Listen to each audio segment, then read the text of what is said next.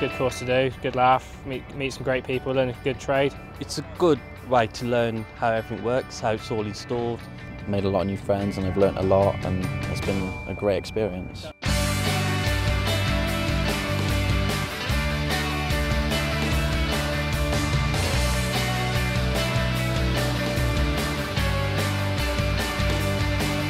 Get Fired Up scheme was launched in 2007 as a way of um, introducing young fresh blood back into the industry and getting engineers wanting to get into the fire industry.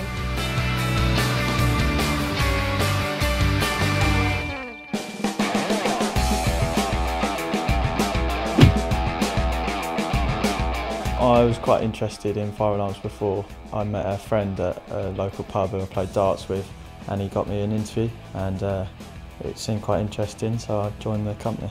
I've met a lot, lot of engineers, a lot of different customers, um, working with other people and learnt new skills at college.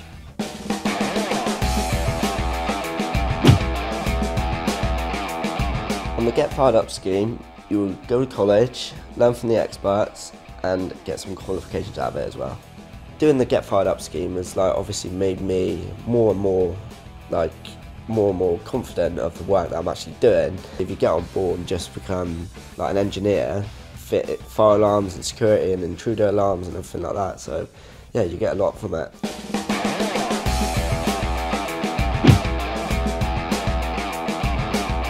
I go to college once a week um, and the other four days I'm working with my uh, employers getting on the job training.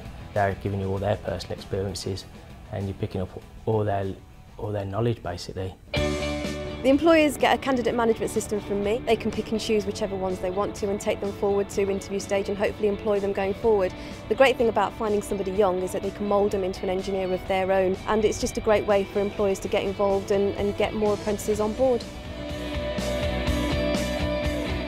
Find out more about the Get Fired Up scheme, go to gent.co.uk forward slash apprenticeship.